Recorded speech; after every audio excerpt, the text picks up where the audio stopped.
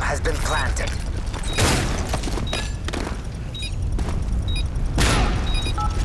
Bomb defused. You're the